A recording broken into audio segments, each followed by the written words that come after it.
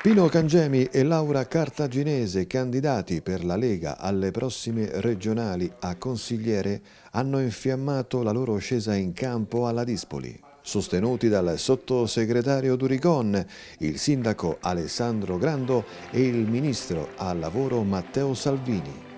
La Sala Piena ha ascoltato i progetti dell'attuale consigliere che si è detto pronto a contribuire per la realizzazione di un ospedale alla Dispoli. Il nostro impegno sarà affinché ci sia un presidio ospedaliero in questo territorio che è carente di un'assistenza sociosanitaria importante e per questo ci batteremo. Sì, devo dire sì, alla Dispoli specialmente c'è tanto calore, c'è tanta amicizia, tanta voglia di cambiamento, ma devo dire che lo stiamo riscontrando in tutti i comuni della, della provincia e nella città di Roma, quindi sono soddisfatto. Matteo Salvini si è complimentato del lavoro di Grando e ha dato una carica di entusiasmo per far vincere il centrodestra.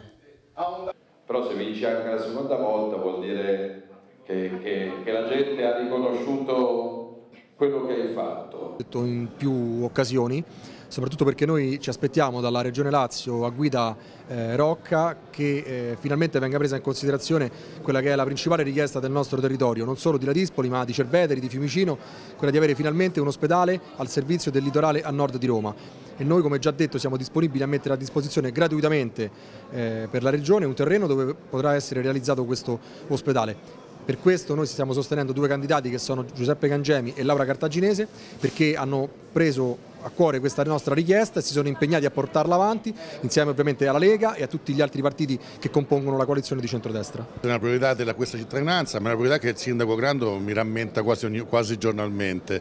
Eh, abbiamo già fatto un tavolo di preparazione per capire dove recepire queste risorse, c'è tra le tante possibilità quella di fare una, una project financing con l'INEL proprio, quindi dove l'INEL potrebbe costruire questo terreno, dove il, il sindaco metterebbe addirittura a disposizione il terreno per poterlo costruire e la regione che che se ne fa capo. Ecco, questa è una filiera che possiamo attuarla a breve quando finalmente conquisteremo questa nostra regione. Vinceremo, governeremo bene nell'interesse di tutti.